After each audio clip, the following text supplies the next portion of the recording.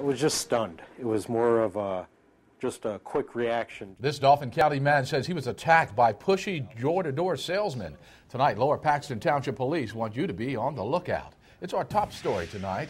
News 8's Portia Johnson is live from Dauphin County. And Portia, police say several people have actually been pressured into buying these cleaning products. That's right, Janelle. Lower Paxton police say they've gotten several complaints about people selling Mrs. Clean Pump It Off. It's unclear if this is a bogus product or not, but what's clear are the marks left when one man didn't want what they were selling.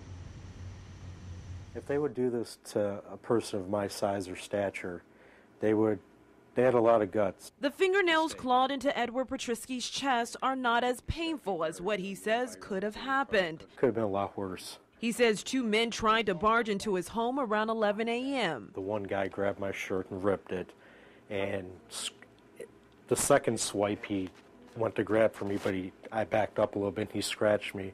And that's when, just out of impulse, I just punched him in the face. Petrisky says the two men ran off. He says they came to his house upset after he refused to buy their Mrs. Clean Pump It Off product Saturday evening. Why would somebody be coming late at night at quarter to nine trying to sell you a product? And, you know, she had no credentials. He says their sales pitch even sounded fishy.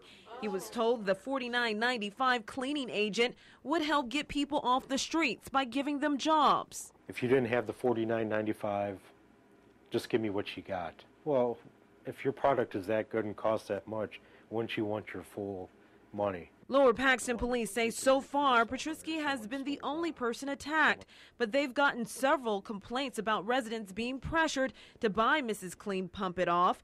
Police say the men don't even have a peddler's permit to sell in Lower Paxton. Who knows who else they've done this to, and we're afraid to call the police. Lower Paxton police are looking for two black men. They are calling them dangerous, so they say if anyone comes to your door selling Mrs. Clean Pump It Off, call police immediately.